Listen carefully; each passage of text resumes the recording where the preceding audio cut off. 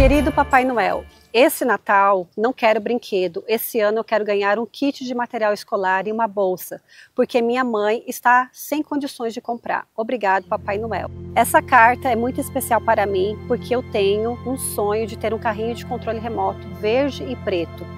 É o meu maior sonho. Se você realizar esse sonho, eu vou ficar muito feliz. Muito obrigado, Papai Noel. Feliz Natal. Querido Papai Noel, gosto muito de brincar na escola de esconde-esconde, estudo na segunda série e nesse Natal eu queria ganhar uma cesta básica para ajudar minha mãe e meu padrasto e uma boneca Barbie. São cartinhas como essa, a qual eu acabei de ler para vocês, que estão disponíveis na Semache para serem adotadas. Na nossa campanha, Eu Fiz o Natal de uma Criança Mais Feliz.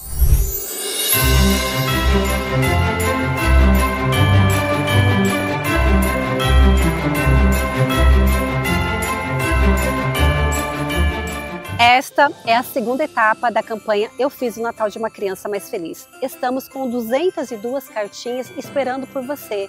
Você pode adotar uma cartinha e fazer o Natal de uma criança mais feliz. Acredito que muitos de vocês, assim como eu, um dia se fez a pergunta: quero ajudar, quero contribuir, não sei quem, onde e como. Chegou o momento. Nós estamos com muitas cartinhas que podem ser adotadas por você.